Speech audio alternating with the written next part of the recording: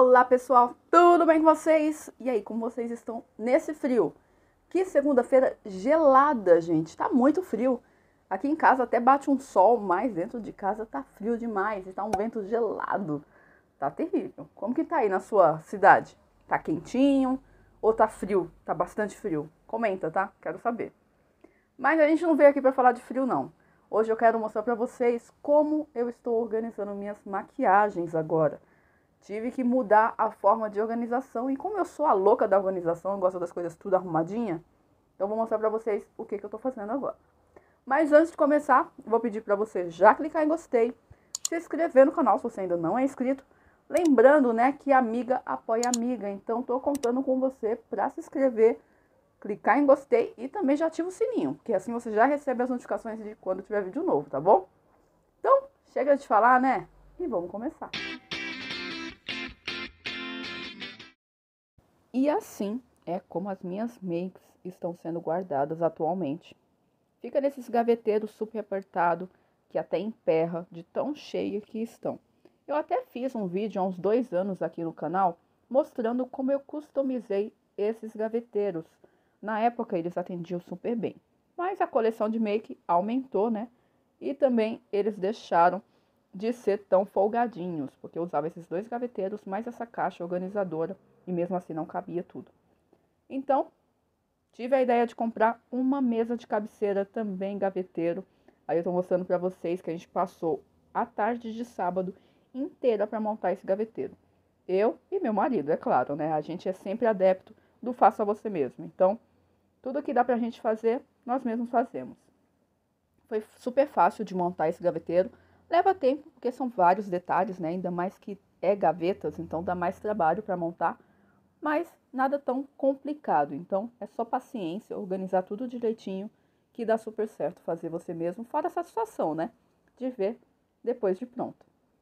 Aí depois começou a parte de organização. Então limpar todos os produtos e eu fui separando, né? Então só fui colocando na gaveta, limpando os produtos um a um e colocando nas gavetas. E ficou assim o meu gaveteiro, né? Eu coloquei aqui do lado da cama, que é uma cabeceira mesmo. Então, mantive as coisinhas que eu tinha em cima da minha antiga mesinha de cabeceira, que foi lá pro outro quarto. A primeira gaveta, ela tem esses nichos, né? Então, eu acabei organizando tudo as minhas bijus. Então, tudo que é meus brincos, meus brincos, relógios, os óculos, estão tudo por aqui. Fica mais fácil porque estavam tudo bagunçado, ficava tudo solto pela casa, sabe? Em vários lugares. Então, agora tá tudo organizadinho aqui. E as gavetas de baixo eu reservei para as makes, né? Então aqui eu separei. Usei a caixinha da Glambox para fazer divisórias. Então assim, usei aqui uma caixinha da Glambox para colocar os meus batons. Usei divisórias, essas divisórias aqui eu comprei. São, elas se chamam divisórias japonesas. Então eu cortei no tamanho que eu queria para fazer divisória dentro da caixinha e separar meu batom, meus batons por categoria. Então tá tudo separado, vinho, vermelho, marrons, gloss, tá tudo separadinho para ficar mais fácil de achar. Uma das coisas que eu quero dar uma mudada é sobre os pincéis. Os pincéis atualmente estão tá todos aqui nessa caixinha organizadora.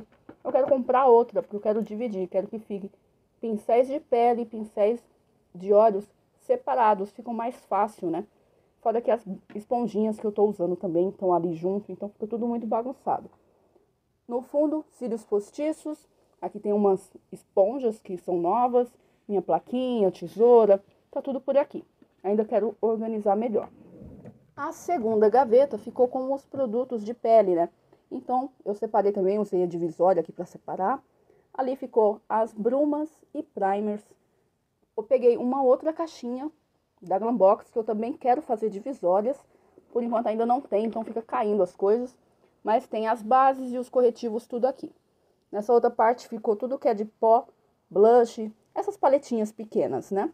Mais iluminadores. Aqui tem um limpador de pincéis e algumas paletas também. Aqui a paleta de pó e duas paletas de blush. E na última gaveta ficou tudo que é produto de óleos. Então usei mais uma caixinha da Glambox para colocar todas as minhas paletas de sombras. E essa daqui, como é grande, ela fica por cima. Ali tá as máscaras de cílios que eu quero organizar também. Os lápis, é, corretores de sobrancelha, tudo eu quero organizar para ficar tudo arrumadinho também. Aqui também tá meio bagunçado, porque tá os glitters, as sombras que são assim, monossombras, né? Sombras líquidas, então eu quero organizar também. Então vai ficar tudo mais organizado, mas por enquanto já tá muito mais fácil do que tava antes. E é assim que eu guardo minhas makes agora. Não é aquela penteadeira maravilhosa, né? Dos sonhos, aquela penteadeira camarim, mas já tá tudo organizadinho, fácil de encontrar. Eu deixava minhas makes lá no outro quarto, então eu não tinha lugar para colocar no meu quarto, né? Então quando eu ia sair para me maquiar era aquela agonia, porque eu tinha que ir lá no quarto, pegar as coisas e me maquiava no meu quarto, que é onde fica o espelho e a iluminação é melhor. Então ficava naquela, vai e volta, vai e volta para fazer a maquiagem. O que me deixava até estressada, porque as gavetas ficavam emperrando de tão cheias que elas estavam. Agora não, tá tudo no seu devido lugar. Ainda não tá 100%, porque como eu disse, eu quero comprar uns organizadores, né, para deixar tudo mais organizadinho, mais divididinho. Mas por enquanto eu já tô adorando por não ter mais aquelas gavetas emperrando. E você, como é que você guarda suas makes? É em gaveteiro? Ou você tem aquela penteadeira dos sonhos? Ou é em necessaire? Me conta aqui, quero saber, tá bom? E não esquece, né? Se você curtiu, não esquece de clicar em gostei, se inscrever no canal se você ainda não é inscrito e comenta. Não esquece de comentar como você guarda suas makes.